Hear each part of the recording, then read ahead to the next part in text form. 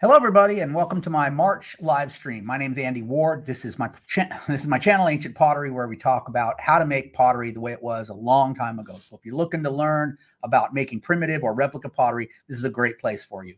Today's uh, today's live stream or this month's live stream is going to be focused on 10 of the most common mistakes, especially those mistakes that new people make when they're first getting into primitive pottery. Those things that cause pots to break or uh, you know, not be so, not turn out so good, mostly breakage. Uh, and so we'll talk about those 10 things, but then we'll also talk about what you can do to avoid those 10 things, things you can do to, you know, make your pottery better and avoid these mistakes. Okay. Uh, I'm also answering, importantly, I'm answering your questions. So if you have any, excuse me, if you have any pottery related questions, just drop them in the chat. I'll try to get them all answered in the course of this live stream. Uh, the other thing that I'm doing uh, today, special for March live stream, is I have a giveaway. So this is a pottery kit. This is a complete pottery kit. It's a basket. It's got a water bowl, a pookie, gourd scraper, needle tool, polishing stone. I've got a piece of white clay, a piece of buckskin, and a um, oh a deer rib bone and a, a, a yucca leaf paintbrush and a lump of clay. So uh, it's an entire kit, and I'll be giving that away in the course of this live stream. Um, in order to be eligible, you're going to have to hang around and wait. There's going to be a certain uh, piece of text. There's going to be a um, what they call it a hashtag that you put in the chat, and then uh, it'll automatically select at random one of you that have entered that that um, I can't say it hashtag one of you that entered that hashtag in the chat. So um, that'll be later on. Okay, is my audio good? My shirt. I understand there's been lots of rain in your area. Does this help identify areas for good clay? Yeah, lots of rain does help you find clay, but also lots of rain makes it hard for me to get out and fire. So right now I'm a little frustrated because uh, I want to get out and enjoy the spring weather and fire pottery, and I've been sitting around the house waiting for it to dry up. So, um, you know, we can. I live in a desert. We can always use the rain, but at the same time, uh, it does get frustrating when it won't let up. Uh, just to cover the a couple of things here, um, the giveaway is only for people that have a U.S. mailing address. So um, if you are in a different country, I'm sorry, but I can only mail this within the United States. It's very expensive to mail things overseas. Uh, I have a workshop, a pottery workshop coming up. That's going to be March 29th through April 2nd. That's a five-day intensive pottery workshop where we do everything from collecting clay, building the pots. Uh, we'll visit museums. Uh, we'll we'll go to mines and collect uh, ore for pigments. Um, and then we'll fire the pots on the last day in a big open bonfire. So uh, that's a really great experience. I've had three people drop out in the last couple of weeks. So, um, no, no, I've had four people drop out. Uh, I have I have openings in that class. So if you are interested in that workshop, I know it's it's short, you know, it's short time because it's coming right up in a couple weeks. But if you are interested and you're available, uh, that's on my website. Uh, where's my website? Hold on. I'm using StreamYard today, which is a different uh, software that I'm used to using. Um, so, anyways, that right there, the address for my website, and if you go there and click on classes, you'll see that class if you're interested in it. Um, and then uh, I have a Potter's Gathering. So, the my second annual uh, Southwest Potter's Gathering is taking place April 5th through the 7th. So that's a three day event. And what we're going to do is the first day on Friday, we're going to go look at some ruins and then we're going to look at some museum collections of ancient pottery. So we're going to we're going to uh, look at pottery sherds and and whole pots on Friday, and each one of these days is going to require driving. So we're going to drive to different locations. Uh, the second day is clay. So Saturday we're going to drive around this big loop around southeast Arizona and collect clay from multiple locations. Kind of talk about you know what to look for and what kind of qualities we're looking for in the clay. So it's a great opportunity. Uh, Sunday is about minerals. So Sunday we're going to drive to some old mines and we're going to walk around and collect pigment minerals, uh, reds and blacks, iron oxide and manganese prim- primarily. And so uh, it's a great opportunity for anybody that's wanting to collect some materials or learn more about ancient pottery and that sort of thing. And you can kind of go to just the days you're interested in. Let's say I'm only interested in the ancient uh, ruins or I'm only interested in the pigment minerals. Feel free to come to whichever one you want. Um, but it is only open. This event is only open to people that are supporters of the channel. So if you're a channel member, or if you're a, um, uh, an Ancient Potters Club member or a patron, those are the people that are uh, able to come to this event. So if you want to come, uh, you know you can you can buy a YouTube channel member, clicking the join button right here in the YouTube window for a couple bucks a month. So uh, if you want to do that. And that's open to anybody who's a supporter of the channel. I do ask you to RSVP me uh, that you're coming so I know who's coming. Okay. Uh, and also hit the like button. That'll help me in the YouTube algorithm. Uh, go back to the chat real quick. Um, Chris in Kansas is actually in Kansas. Imagine that. uh, do you think that Fraser build raises method for enhancing class? I don't know what that means. I don't know what that means. Sorry. Uh, Rule SFO. Video not visible, nor is sound, even though streaming is active. Um, start it. Huh, weird. I don't know. I would love to live closer. Sounds amazing. Hi. Blank screen, no poly visible. I will get out and return. Oh, that's Teresa again. I'm sorry, Teresa. I don't know what the problem is. Okay, let's talk about those 10 uh, those 10 problems that potters have. And I tried to order them in, you know, the order that I think from least important to most important, but it really varies so much based on where you live and what materials you're using and stuff that it's kind of hard to say. I mean, number 10 might be the most valuable piece of information for you, but it wasn't for me. Uh, getting too attached to one bad clay. Oh, I, this happens over and over again. I've seen so many people, especially when they're first getting into this, they find some clay or they want to use the clay that's where they live or at their grandmother's farm or, you know, uh, they, they get emotionally attached to a specific clay body that they found. And that's great. You got to remember that clays all over the world, right? There's there's thousands of different clays just within a couple miles radius of where I'm standing, right? And only a percentage of those, maybe 10 or 20% are actually usable for making pottery. And maybe maybe even a smaller percent, maybe only 5% is really actually good, you know, really good for making pottery. So a lot of times if you get attached to that first clay you find, it's not going to be that good. You have an open mind about clay and, and don't get attached to one because uh, a lot. I mean, I get so many questions through emails, through Facebook Messenger, through uh, Instagram, through YouTube comments. Um, oh, I found, you know, I'm trying to get started in this, but my clay is doing this or doing this. And and really the most common advice I give is maybe you should try a different clay because the clay you're using doesn't sound all that great. I mean, there's things you can do to improve clay, but usually they're pretty marginal. So um, if you find a clay and it's working, but then you thought, well, it's not that great. I mean, look around, see what else is out there. You know, you don't have to be married to a clay body.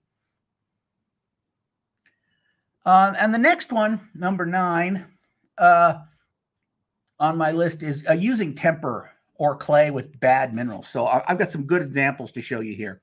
Um, there are certain minerals that you don't want to have in your clay body because they're going to cause problems in your pottery. So the first one I'm going to talk about is calcium. Some of you may be uh, familiar with this. So uh, calcium carbonate comes in all different forms, like limestone is calcium carbonate, but so is caliche, which is a very different mineral if you see it in nature. Um, and so there's different things that are calcium carbonate, but they all have the same effect. Uh, over about 820 degrees Celsius, uh, that calcium carbonate turns to calcium oxide. And then when it gets damp, after this is after it's been made into a pot, if it gets damp, then it um, it absorbs moisture and it let's see, calcium oxide turns to no calcium. I don't remember that. I'm not a chemist. Anyways, it expands. It produces heat and it expands at that point, and it causes pops in your pottery.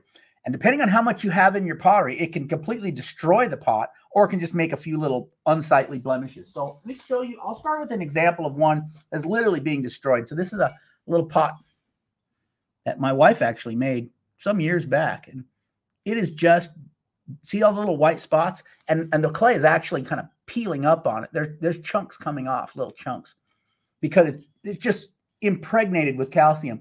And it's all just kind of expanding and it's not like I've dunked this in water to get it wet. It's just absorbing moisture out of the atmosphere. And it's, it's just going to eventually just completely fall apart. There's it's a mess. Now here's one. You might have seen me make this pot last year. And I was trying to make some brown clay. And so I used some clay I wasn't used to using. And if you see, you see the little white freckles all over it. And, and a lot of places where there is one of those freckles, there's a little divot right there. It's a little dent because the the piece of calcium was under the surface, and as it expanded, it blew off a chunk of clay on the outside. So that's what you get um, with calcium carbonate, and that's just one. That's probably the most common the most problematic mineral, but there's other minerals you want to avoid too. So this is a pot uh, that I fired in my last video. So um, now with calcium carbonate, it, it'll come up later. So you'll fire the pot and it might be months down the road when it starts spalling. So this is really problematic because sometimes a potter will make a pot. It seems fine. They sell the pot, they take money for it. And then, you know, maybe within the first year, it starts getting a few of these. Maybe after a couple years, the pot's exploding with them. Um, you know, and then you know, if if the person wants to take it back, the potter has to basically refund the money. I mean, it, it's really problematic because it's late. But some of these happen right away. And so this this pot came out pretty good, but uh, it had a little bit of um, uh, what's it called? Um, pyrite, iron pyrite in the temper material. So the mountains around me have a fair amount of pyrite in them. And so if you collect sand from certain washes, it'll have pyrite. You don't even notice it because it's not super common. It's, you know, it's very, very scarce, but it doesn't take much and you get these pops. So I'm going to try to show you this. You see that? Okay, you see that hole right there in the black painted area? There's a dent. And if you look in the bottom of the dent, there's a little shiny bit because pyrite is shiny, is fool's gold is what it is. So it's a little dent, and that's that's pyrite where it's popped. Basically, I think it gives off sulfur at a certain temperature and causes those pops. And that's not the only one. That's the largest one that's in a painted area, but there's a few all over the pot. So there's that too. And there's there's other things you don't want to get in your in your temper and your clay body. So that's a mistake that new people make. But I mean, it's a mistake I'm still making because a lot of times, like I'll collect sand out of a wash that I've never been to before, and I look at it closely and I'm like, well, it doesn't look like it has limestone or it doesn't look like it has pyrite, but it doesn't take much to cause problems. So um, that's a that's a common mistake. Uh, let me go back to the chat real quick, see if I'm caught up on things. Sharing all your knowledge. Thank you. I appreciate you all being here and asking questions. Feel free to ask your questions if you have them in the chat. I'm trying to get to them all. Uh, I was attached to my clay, says Brandoom, and it wasn't the best until I found some more. It's a different at a different job site. That's vastly superior to my initial clay. I've been cutting the superior clay with other stuff. And that's good too. Yeah, mixing clays is another way to get a better clay sometimes. I mean, you might have two marginal clays and be able to mix them and have a really good clay. One time I accidentally added calcium temper to clay. Oops. Yeah, that's terrible. uh, yeah, it, and it happens. It happens. Can you use volcanic ash. Yeah, volcanic ash makes a great temper and it's rel relatively inert in the firing. So it doesn't produce any pops or spalls or any of the problems that I'm ever aware of. I have pyrite, fool's gold, bad to have in temper. Yes, it's not desirable in temper. happened to auger bowl you made for me? Auger bowl. My wife says, What happened to my auger bowl? But I don't think she meant auger. I wonder what that's supposed to mean. Similar to having plaster bits left during slip test. Yeah, that's another way that you can get calcium in your clay. A lot of times people use plaster of Paris like bats or like pookies. It's common uh, a lot of places to make pookies out of plaster of Paris because it's it's um you know it's porous, it's absorbent, makes a good pookie. But if you get a little chip of plaster in your clay, that's calcium carbonate. You have the same problem. Gypsum is another mineral I try to avoid. Yeah, gypsum's bad too. Um, well, yeah, no, actually, the, the plaster Paris is gypsum, isn't it? So it's not exactly the same, but it's similar. I see what you're saying. Quartz sand is a good quartz. Is quartz sand a good temper source because of the silica-like property? Yeah, quartz works fine. A lot of the uh, Native Americans prehistoric pottery was tempered with quartz sand. Hi from Chihuahua, Mexico. Hey, look at that. Uh, how you doing, Oscar? Uh, oh, our well has hard water. It makes sense that the clay would have calcium. Um, yeah, well, the, the calcium that's in the water is not the same. It's not going to cause the same problem because if the calcium is dissolved in your water, like our water here in Tucson is very hard, but that doesn't cause those spalls that I'm talking about. You actually have to have a chunk of it, uh, not not a dissolved uh, amount in the water. You have to have a solid chunk. And so, uh, although hard water can cause those solid chunks to build up in, say, your hot water heater or your tea kettle. Uh, it won't cause that in your clay.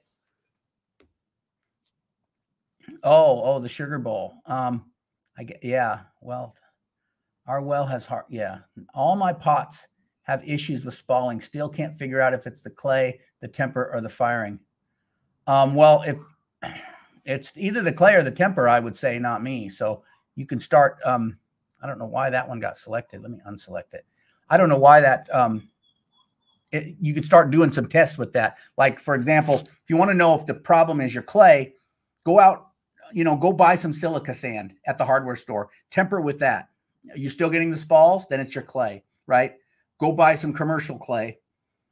Add some uh, your regular sand you've been using. Do You, are you getting spalls? Then the problem is the temper. So you're just going to run some have to run some experiments to find out what it is. My pots start to crack when I'm making larger ones. uh, sugar bowl, fat finger syndrome. I had my first spalls on my last firing, which was also my hottest. Maybe that was the first time I got to 800C. Yeah, it's possible that you were firing below that before.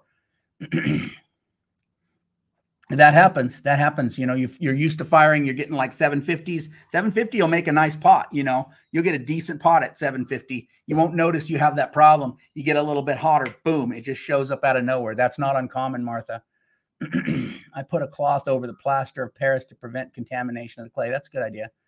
Some spalling could be lint or hair. Well, my pottery is all pretty much tempered with dog hair, so I haven't had any problems with hair. The hair usually just burns away. Uh, can you use sawdust as a temper? Um, yeah. So you can use um, organic tempers, uh, sawdust, um, manure, um, and and they will do the same thing as temper, but they will burn away in the firing. So that leaves a very porous pot. So if you're looking for porosity, let's say if you're making um, a, a water cooler or um, if you're trying to, there's like air conditioner things they have in India where they make like clay tubes. I'm not sure exact, exactly how that works um, then you know you would temper with organic temper on purpose. But for a lot of things, like if you were just making, you know, something to drink out of or something, you know, you wouldn't want that porosity. But in some cases, it is desirable. So yeah, I mean, yeah, organic temper is a thing. Okay, let's go on to the next uh, the next problem then. Using temper or clay with bad minerals. Working clay too wet. So I find that a lot of students of mine, especially people that take my workshop, if they have a background in wheel thrown pottery, um, they will tend to want to work their clay way wetter than it needs to be. So it's really just a matter of getting a feel for where, you know, the right dryness, dampness that you need in order to hand build to coil pottery. And it is different if you're throwing than if you're hand building. So, excuse me. Clay that's too wet doesn't have a lot of strength. It's lacking in wet strength. And so your pottery is more likely to slump uh, and so having it at the right uh, dryness and wetness will make a big difference on what you're able to build. Uh, and so uh, wet, wet can be a problem. And so that's just something you have to learn as you as you get started. That's something that happens frequently to people that are just starting. Uh, maybe after a few hours of hand building, you'll start getting the handle where you want it. You know how dry, how damp. Uh, but this is a common thing that I see, especially in my workshops. Like I say, people come, they've never done much hand building or they, you know, they're used to throwing on the wheel. They, they work clay a lot damper on the wheel than what I need. Okay, let's go on to the next one then. Not bonding coils good. And this is one that plagued me for years when I first started. Uh, when you're adding coils to your clay, you're building up coils. If you don't get that coil bonded to the body of the pot well, and it might look just fine, but as as it as it dries, it may crack right along that coil line, or it could be you're not even going to see that crack develop until the firing. Um, but those, you know, that coil line will come back to haunt you later on. I this used to happen to me all the time when I was first starting, and I see it in my students in workshops as well. So you got to make sure you've got that coil bonded. And you know, uh, some people do the the slip and score, so they, they actually score the coil paint little slip in between it, and that pretty much glues it in place. So you know, if you're having trouble getting that bonding pinch or something, getting it attached, uh, you could always do that as a way to make sure that it's connected good. But um, it is a common problem, and like I said, I had that problem for years when I was first starting out. Um, where are we at here? Let me check the chat real quick.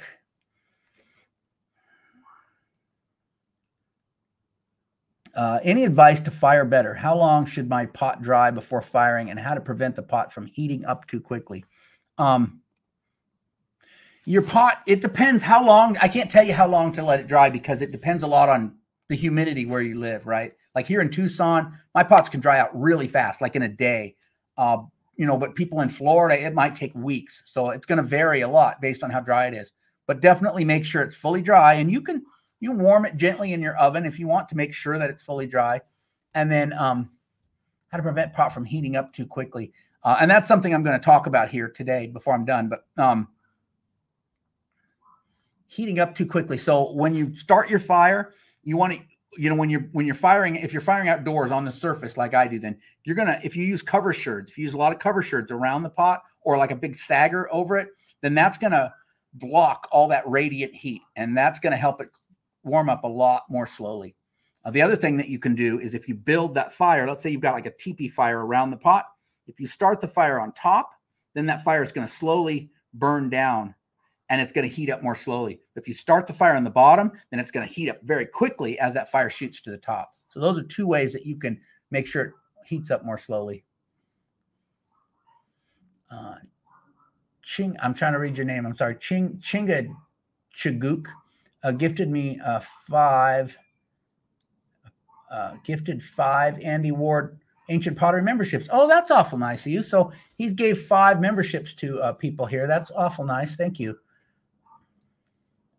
A slip and score works like a perforated line in my pottery, creates a weak line. Well, yeah, I can see that too. I can see where it'd be a weak spot. You know, I'm just saying if you can't if you can't get it bonded well, it's one way to maybe get it attached. Uh, I had that problem for a while, but I added slip and then bonded it. Thank you so much. Excited to start. Have you added cactus juice to your clay?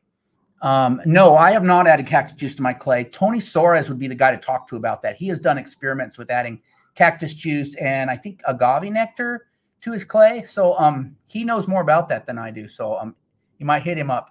He's here on YouTube. Just go to just go to the search bar and type first Tony Soares, S O A R E S. Uh, is there any other way to make organic paint besides mesquite beans or yucca fruit? Yeah, you can make organic paint out of almost anything. Uh, just take it, take the plant, put it in a pot, boil it for a couple hours so you have a strong tea. Strain out all the solids. Uh, so what you're after is the pot, you know, the pot liquor, the the juice, the tea that's made from this plant, uh, and then you just boil it down until it's a thick syrup. So, yeah, anything. I like the reason I like mesquite uh, beans and uh, yucca fruit is because they have a high sugar content, so that gives you more yield. Uh, up in like northern Arizona, New Mexico, they use Rocky Mountain bee plant and tansy mustard, which are also uh, good, but you get less yield because they're lower in sugars. Uh, yeah, you can make organic paint out of a lot of things. um, uh, good advice. Thank you. I've been starting my fire from the bottom, and that caused a lot of issues. Try cover sherds to start fire from the top. Uh, trying to paint with red ochre and manganese dioxide, mixing with different ratios of clay, it rubs off or leaves ghostly shapes, something dark streaks. Do you know common causes for this? If your clay isn't sticking to the pot, I mean, if your if your pigments aren't sticking to the pot, it's because you don't have enough of a fixative. The fixative is something that's going to make it harden in the fire. Uh, there's three kinds of fixatives, right? There's um there's um a chemical fixative like um uh, like a glaze, right? That's going to make it kind of melt and stick to the pot. Um, there's there's clay fixatives that are just going to, if you mix enough clay with any pigment, it's going to harden in the fire. But you you have to know at what temperature that clay you're mixing, uh, you know, matures, turns to ceramic, right? Uh, I would suggest you use the same material as your body clay. That way, you know when the clay is fired, uh, that that pigment clay is fired as well uh, or you can mechanically fix it, fix mechanical fix it. And that is taking a stone and polishing those lines of paint to set them down into that clay body. Um, and so if it's not, if you're using clay and it's not sticking, use more clay, right? So I use a third, uh, I use one third clay and two thirds pigment. But if that wasn't working, I would up the amount of clay until it started sticking. So you just run run some experiments, make yourself a test tile, paint on your regular recipe, increase the clay by whatever, a little bit, paint another line, increase the clay a little bit more, paint another line, right? And then fire it, then wipe it, wipe it real good. You can take it in a sink and scrub it even, and then see where it starts sticking. And that's the recipe you want to use. Um, I'm trying to paint. Oh, I read that one. Hey, Andy, you're awesome. Thanks, Whitehall Gaming. Hi, Andy. Almost missed this. YouTube said it was starting at one and didn't send me a reminder. Oh, sorry about that. It was 11 o'clock Mountain Time. Um, okay, let me uh, let me go back to the where was I at? Uh, not bonding coils, slipping too much. Uh, not bonding coils, good. Yeah, I did that. Clay too wet, slipping. So the next one I'm going to talk about slipping too much on bone dry pottery. So this is this is a common. This is another one that I struggled with for a long time. Um, when you're slipping a bone dry pot, and you don't have to slip bone dry. I usually slip leather hard, but sometimes you do, and especially if you're trying to, well, like like down in Mata Ortiz, they always slip bone dry because they use sandpaper, so you have to get bone dry so that you can sand it, and then you're slipping it bone dry. Um, so a lot of people do, and when you're slipping, well, even when you're slipping uh, leather hard, though, you if you add too much slip, that slip is full of water, right? It's it's it's clay that's just mixed up with a lot of water, liquid clay. If you add that, when you're putting that on the pot, you're adding moisture to the pot, and that clay is absorbing that moisture. And when clay absorbs moisture, what does it do? It expands, right? That that's what clay does. It expands when it's wet. It contracts when it's dry. That's what causes those cracks in the bottom of mud puddles or dry lake beds. And so, uh, when you're adding that much moisture to the clay body of a pot that's already built, it can expand really rapidly and it'll just fall apart or break, especially the insides of bowls. Somehow, when you're putting it on the inside of a bowl, that expansion is outward and it'll just blow that bowl into pieces. Whereas the outside, that it expands, this push pressure inside, so it's a little more durable. Um, so too much slip on bone dry pottery, or even like I said, even leather hard. If you put too much, uh, that is a problem. How do you avoid it? Um, just one thin coat of slip, thin coat of slip and then wait like a half hour. Let it, let that moisture dissipate. And then another thin coat, and then wait a half an hour. You, if you put, you know, just try putting it all on at once, you're going to have trouble. So, um, or do it leather hard. You're a little safer.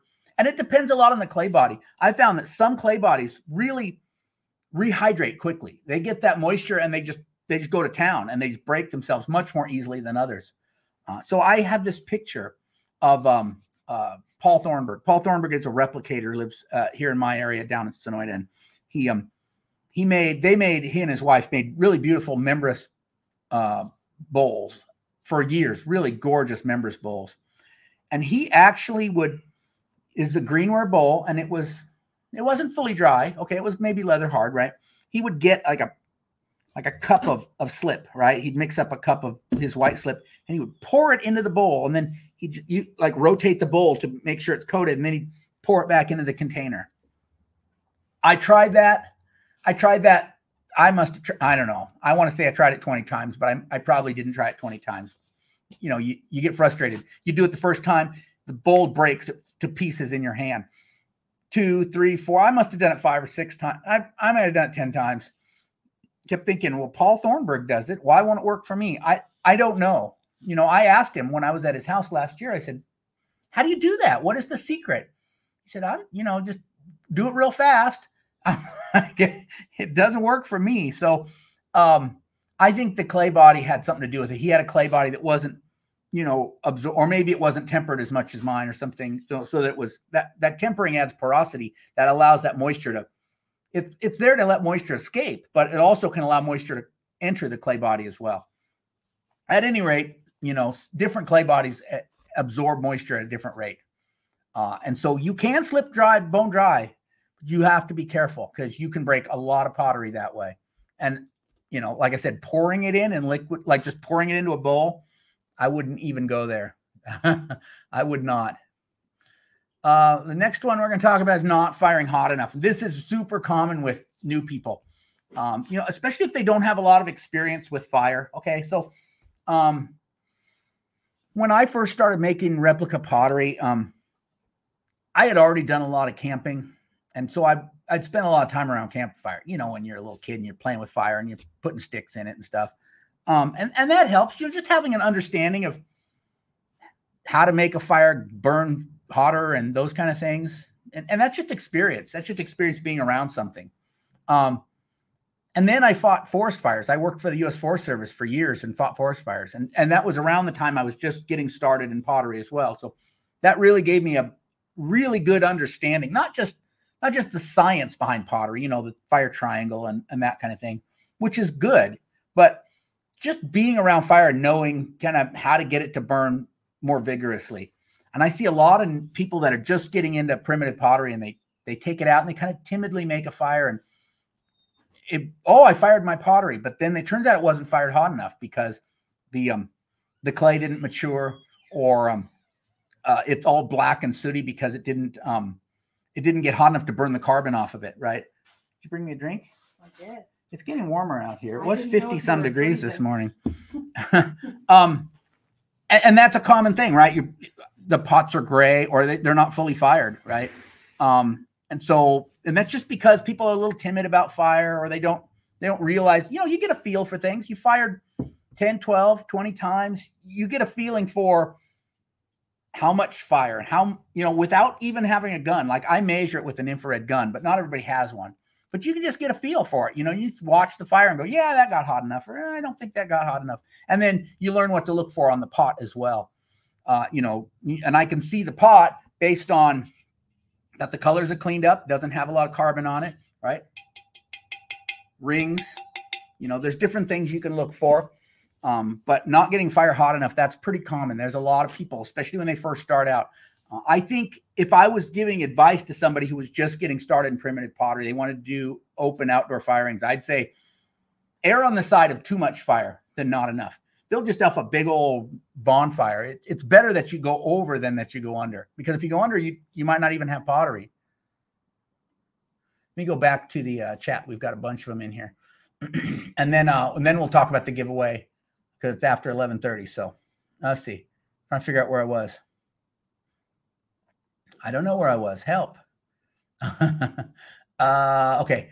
Uh, you are totally getting me into pottery. Just made some clay from soil in my backyard, Nevada clay. It's very plastic. That's awesome. Glad to hear it.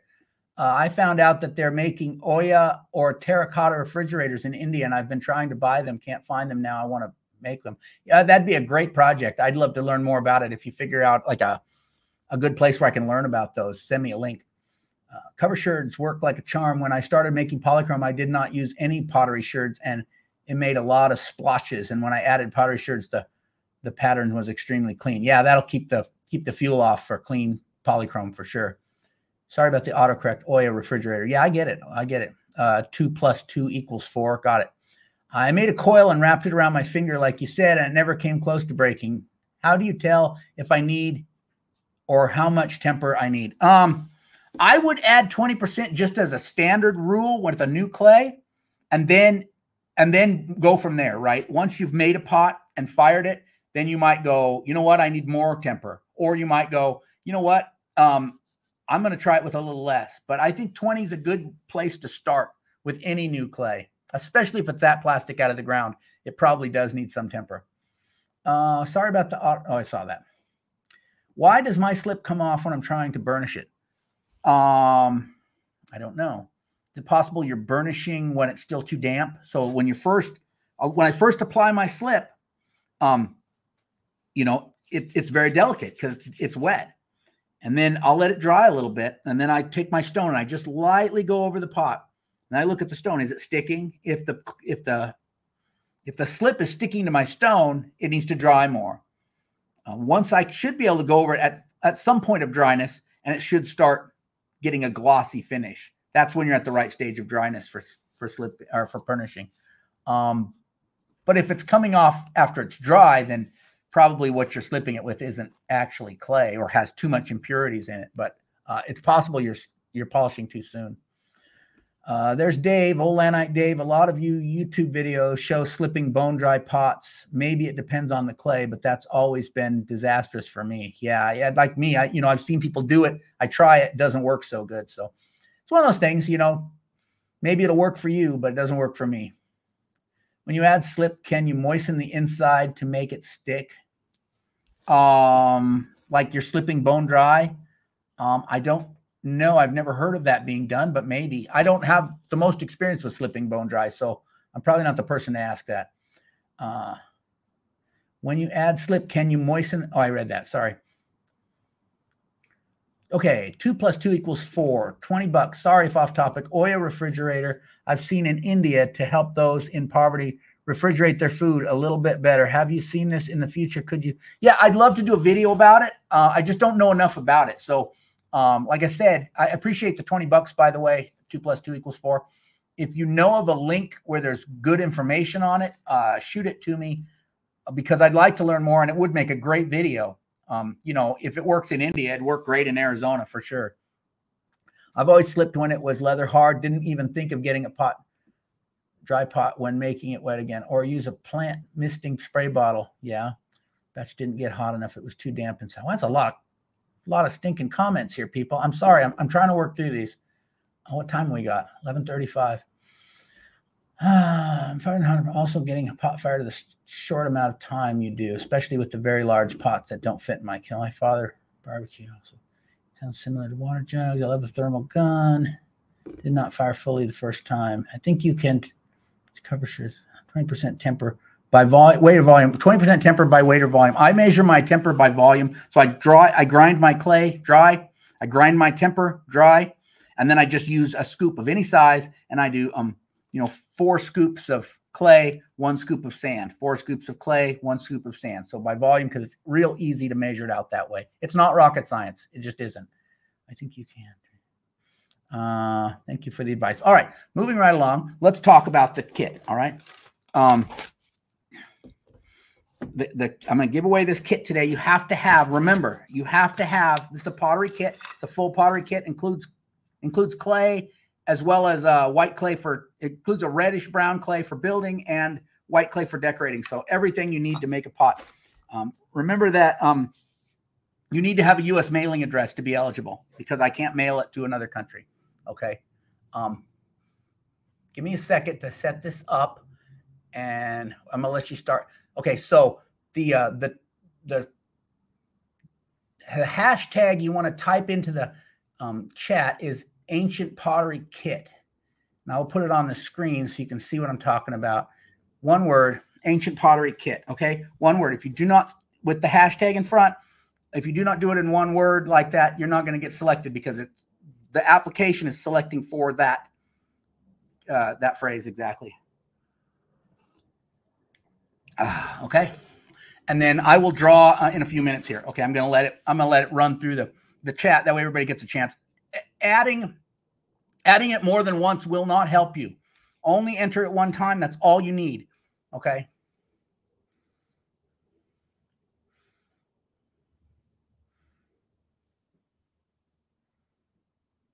when I started researching and found your channel, it's been incredibly helpful and I've had a lot of success following your information. Glad to hear that, OB Arts. Love these live videos, super useful information, and you answered our questions. A blessing, learning a lot. Not me, glad glad to hear it. And thank you, not me, for the 99 cent super sticker. I appreciate you. Okay, getting a whole bunch of these in here.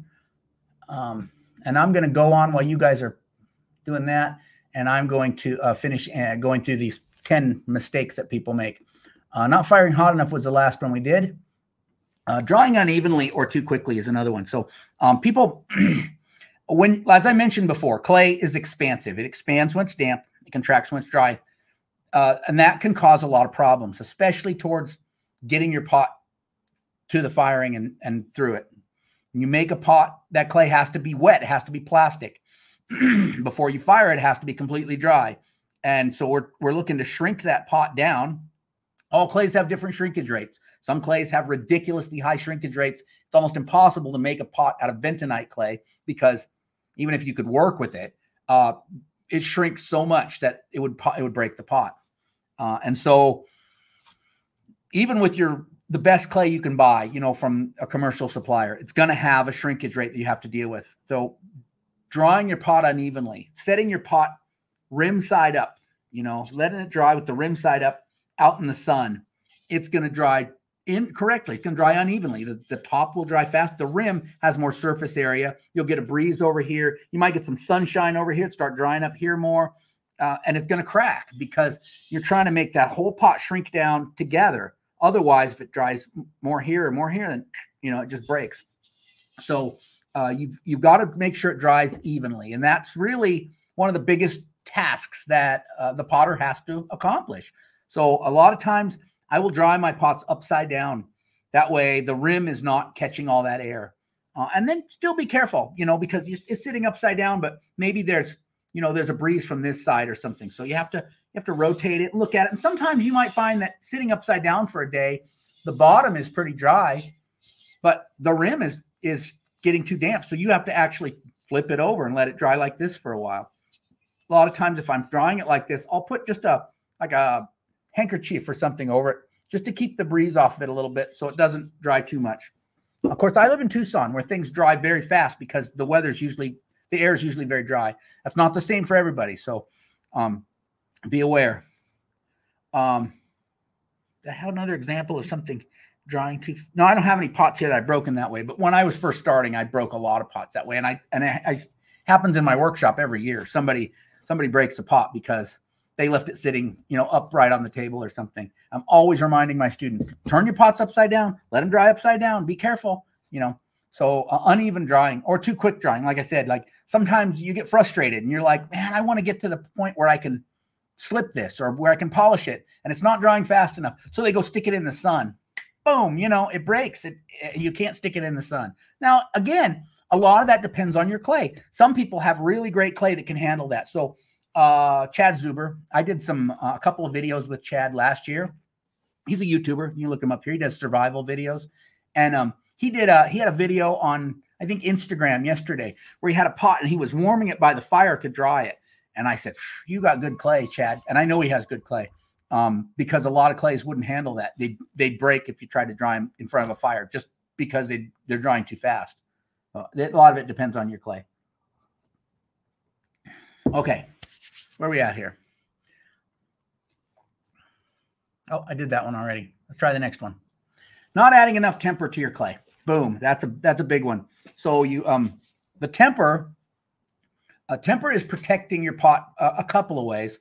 Uh, it's reducing the shrinkage rate. So the temper makes the pot shrink less, which, as I said, is a cause of breakage. Um, but it also protects it from thermal shock in the firing. So when it's firing, uh, it, the temper prevents it from cracking so easily. And so those are two different places where you can break your pot if you don't have enough temper in it. And so um like I said, when you first when you first find a new clay, you might experiment with it, figure out what amount of temper to put in it. But a lot of times if you're just starting out, you might not know, you know, um, and and it also depends on your firing method, right? So I'll tell you a story about Clint Swink. I've probably told this story before. Clint Swink, he's a famous replicator lives up in you know near Durango, Colorado. He makes Mesa Verde black and white pottery. Really fine, fine work. And um, he was coming to the kiln conference, and he fires in a hole in the ground. He fires in a trench kiln, so it's a it's a slab lined hole, and then the fire is built over it. So pots are down here, fires up here. There's cover sherds between the pot and the fire, so they don't get a lot of. The temperature rises pretty slowly in that kiln because of that. Um, my firings are very different. They're on the surface fire is built over the pot and I start the fire from the bottom and it goes up quick, right? Um, so Clint was coming to the kiln conference. This was 2016, I think. And he was making a bunch of pots and he's a bunch of polychrome pots, which he doesn't usually make. He makes black on white Mesa Verde style pottery. Uh, so he said, Andy, I'm going to let you fire my pots because I trust you and um, you know, you know what you're doing when it comes to these polychrome firings. So I made a big firing with my some of my pottery, some of Clint's, and some of I think a couple other people's stuff was in there. And um, I did it the way I usually do it. And I broke, I think, three or four of Clint's pots, really beautiful pots that I broke. And the reason was he's using like 10 or 12% temper, and I'm using like 20% temper. And the reason he he's getting away with less temper is because he's firing down in that hole. The temperature rises very slowly. And I'm firing on the surface without cover sherds. Man, that radiant heat from the fire, man, it'll just run those temperatures up quick and break stuff that's not tempered enough. So not adding enough temper can really get you. Uh, so that's a that's a common mistake. I mean, like I said, even if you're experienced, because say you fire it a different way, all of a sudden all bets are off. Not preheating thoroughly, man. I, I do it all the time, and here's here's my most recent. Well, I might have done one even more recent than this. Big bowls are really hard to preheat because and they're laying on the ground, they, they want to kind of lay like this. You prop them on a rock, but you're still kind of still kind of flat. So the bottom, the bottom inside and outside, really hard to get a good preheat on that. So a lot of times with a big bowl like this, it's smart to put it in your oven even before you go out. If you're going to fire in an open firing, in your oven is a safe place because that bottom is hard. You almost have to get it like propped up on a big rock or a log so that it's standing upright so that you can warm that bottom effectively because there's going to be moisture in it. Even no matter how long you made that pot ago, there's still going to be some moisture in that clay. And that's what happened here. So I made this big, beautiful St. John polychrome bowl and I didn't preheat it thoroughly. It's all on video. You can watch it where I didn't, I didn't preheat it. And um, I mean, I did preheat it, but it was, it was laying down like this. So the bottom didn't get properly heated. And um, it went off like a bomb. Boom! You know because there was moisture in there and that's what'll happen with moisture is it, it tries to escape once it reaches the state where it's trying to turn into water vapor and it can't get out of that clay you'll just blow the clay up to get out. Um, and so this was actually two different problems. This one was um, the problem of not being preheated enough and it got too hot. So the wind picked up right after i started and uh, um, these little bits of clay it's hard to see in here but the little the the clay where it was broken is all kind of warped and stuff now because the firing was so hot that it kind of curled it. And so it's a really interesting piece, but it's literally some of these little pieces of broken pot are curled up, and that's because it was so hot. So it got too hot and it wasn't preheated correctly. But um, common common problem if you don't preheat it, and you can get explosions and broken pots, and so um, it's it's a real problem. Uh, last one I did, I did a a test on a demonstration pottery firing out at Steam Pump Ranch in Oro Valley, Arizona here December. And um, I had these cover sherds, these mic- micaceous clay cover sherds that I was firing. And I had them all sitting around the fire preheating well because it was kind of in a pit. I could kind of stand them up. But there were so many other people who showed up at the firing to get their pottery fired that was running out of room. And so I, I took some of the cover sherds out to make room for other people's pots and they hadn't heated enough before I took them out. And so one of those cover sherds just boom went off like a bomb in that fire. And that I knew exactly what the problem was. Just real common. 44. Oh my gosh. Uh, hopefully these are all. I'm looking at the tech, the chat now.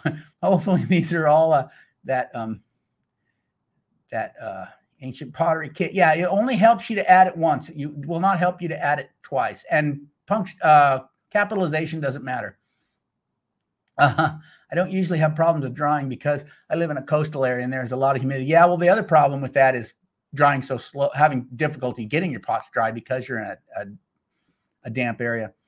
Wheel potter here. Sometimes I use a piece of saran wrap on my handles and rims. Yeah, yeah, I do that sometimes. Uh, so if you have a different a different shape pot like this, and you've got you've got feet and you've got horns you've got a tail and you know you got all these kind of appendages. Saran wrap's really good to kind of cover up certain things and make sure that it doesn't dry unevenly. Same with like this double pot right? I've got i've got two rims i've got this handle you know and i was scared to death i was going to let it dry too quickly and, and it was going to crack. So i used a lot of saran wrap on that. Uh, i'd pay for his classes if i could. His pookie course is totally is free totally worth it Thank you. Not me. Three entries. Highly recommend your workshops. Hi, glad I got to the stream. Drawing is an issue here sometimes. I live in a boat. Oh, I imagine that would be. He said it only works once. Wasn't sure. Yeah, you only have to add it in once. You don't have to add the um. If you if you're looking for the um, if you come recently and you're looking for the giveaway, I'm going to be doing that in just a minute. You have to have a U.S. mailing address and you have to enter hashtag Ancient Pottery Kit um, and capitalization doesn't matter, and you only you only have to add it once. I'm still working through the um, uh, the chat to make sure I've answered all the questions, so uh, be patient. Even my pinch pots fall off the bottom when they sit on their bottoms while preheating around the fire. Yeah, yeah, yeah. That's the other thing, and, and I didn't mention that because um, uh, it's not so much a problem here where I live because usually the ground is pretty dry here in Tucson, but other parts of the country uh, where the ground will have moisture in it. You take that dry pot and you set it on the ground next to the fire to preheat. It will wick up moisture out of the ground and you'll get a blowout on the bottom. So, um, a lot of times, what they do, you'll see this at the kiln conference a lot uh, because that's usually farther north. They'll take little pieces of broken sherds with them, cover sherds, and the, every pot gets sit on a cover sherd or on a rock or something so that you're not wicking up moisture out of the ground. That is something to be aware of for sure. I love the broken bowl. Sometimes whoopsies create their own beauty. Uh, in a previous chat, a viewer suggested to take the wet clay and shape it into a pizza shape, cut in quarters. Yeah, that's one way to figure out the, you know, 20% or 25% temper, depending on what you're wanting. So you can basically just cut out a wedge and then fill it with sand, and then that'll kind of give you an idea of what what that is.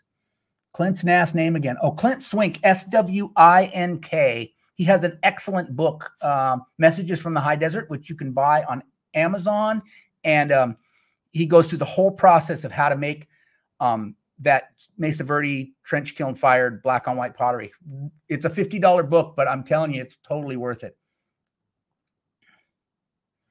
Uh, do you find that more that a more coarse angular sand works better than fine? yeah yeah um so the temper that works best is temper that has sharp edges because it can grip the clay so um volcanic ash um what's the other thing that um uh, diatomaceous earth are both super fine and they have sharp edges one because it was blown up in a you know in, in a volcano and the other because it, it's little um, fossils um so uh, those sharp edges are great because it'll grab the clay um, beach sand, river sand, wash sand. These are rounded because you know they've been tumbled by the water for centuries. And so what I do sometimes if I grab sand out of a wash is I'll run it through my corn grinder just once, and that'll just kind of break it up and sharpen it, uh, which will help make it better. Uh, and the same way with grog, right? Grog is ground up ceramics. Again, it'll have sharp edges because it's recently ground. Uh, not preheating thoroughly. Where am I at here? I have temper. Oh yeah. So the last, I have one more. I only have one more. What are we at time wise? Uh, 1151. We're doing good on time. Uh, so the last one is not preheating thoroughly. So, oh, that's what I talked about here. That's related to, um, did I already do that? Maybe I already talked about not preheating thoroughly. Oh, well, um, yeah. So that was my, that was my number one. Sorry. I guess I did them all. That's all 10. So we can go ahead and let me see. I've never done one of these, uh, one of these giveaways before. So let me let me see. Oh, the Kiln Conference this year. Um, the Kiln Conference this year is going to be at um, uh, Crow Canyon. It's an archaeological center in or near Cortez, Colorado. And I do not have a date, but I was told a tentative date.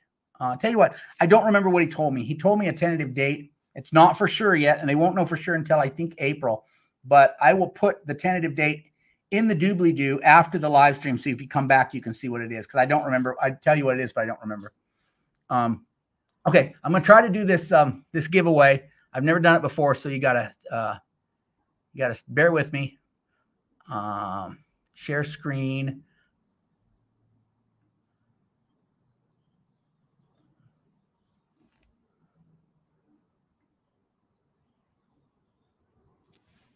I'm working on it.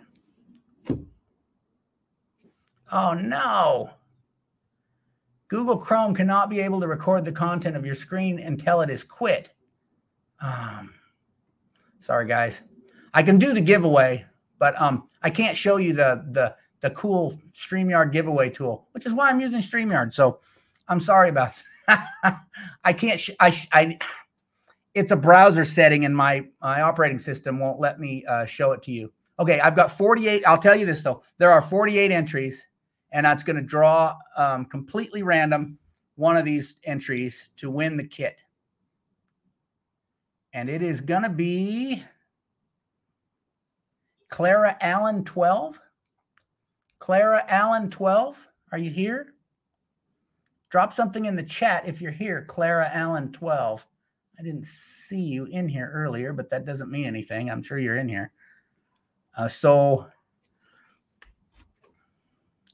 Clara Allen 12, can you say something to let me know you're here and have a U.S. address? Otherwise, I'm going to do it again.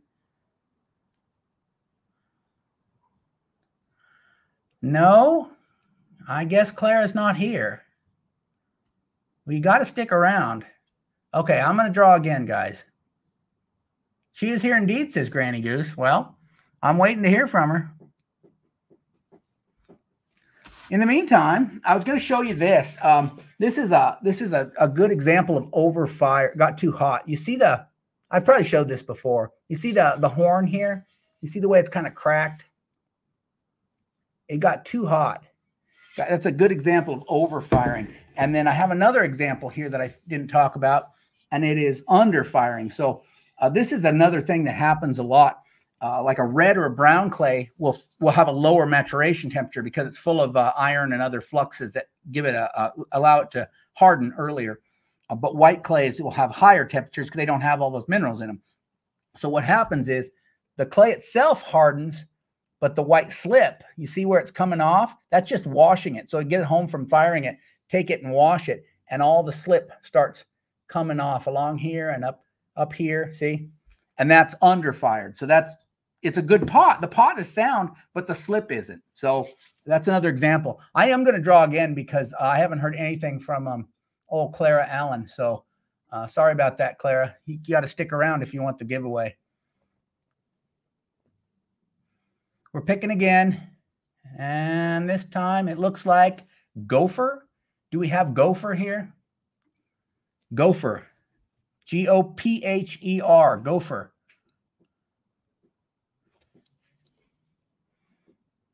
She's here, says Glass. Somebody, please. I'm Cla- Clara Allen, 12. What are you doing? Wait, please. I'm Clara Allen, 12. I'm in Colorado. Well, where, where, where were you? Gopher's here. Clara checked in she commented. All right, all right. I'll give it to go. I'll give it to Clara Allen. But I, I, I don't know. I kept saying you. I was waiting for you. I didn't hear nothing.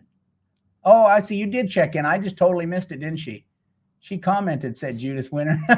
I'm sorry, guys. There's so many comments in here today. I don't know how many people are in the chat today, but um, yeah, there's a lag. You're right about that. There's a lag. She did it before you called Gopher. Yeah. Okay. Okay. Okay, Clara. It's all good. i will send it to you.